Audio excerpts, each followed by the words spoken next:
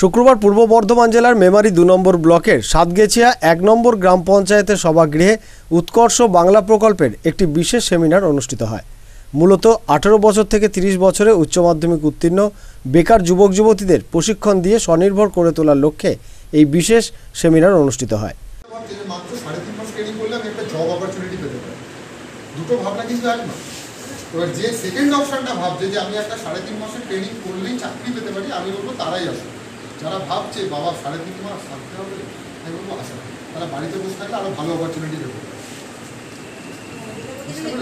এবার কি বলছি অবশ্যই। মাননীয় বলছে এদিন এই সেমিনারে পঞ্চাশ জন অংশগ্রহণ করেন। এদিন এই কর্মসূচিতে উপস্থিত ছিলেন আইবিএম থেকে আগত আধিকারিক পঞ্চায়েত প্রধান মুকুল সাহা উপপ্রধান সঞ্জীব বাঁশফোর সহ বিশিষ্ট ব্যক্তিবর্গ। আজকে আমার পঞ্চায়েতে উৎকর্ষ বাংলা নিয়ে একটা সেমিনার ছিল। আমার এলাকার যে বেকার ছেলেমেয়েরা আছে, যারা চাকরি পাচ্ছে না, এই উৎকর্ষ বাংলার ট্রেনিংটা নিলে তারা হয়তো স্বনির্ভর হতে পারবে। এইটা নিয়ে একটা সেমিনার ছিল। আমি আসছি কলকাতার আইএম কলেজ থেকে। আমি এসছি সাতগেছিয়া ওয়ান গ্রাম পঞ্চায়েতে।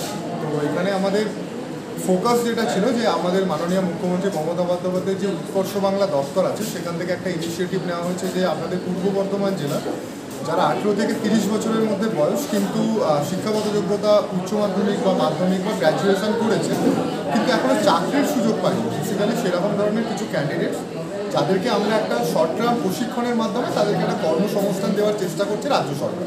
এটা আমাদের মাধ্যমে। আমরা আসছি আইএম কলেজ থেকে। মেমারি থেকে মৃত্যুঞ্জয় যশ আনন্দ বার্তা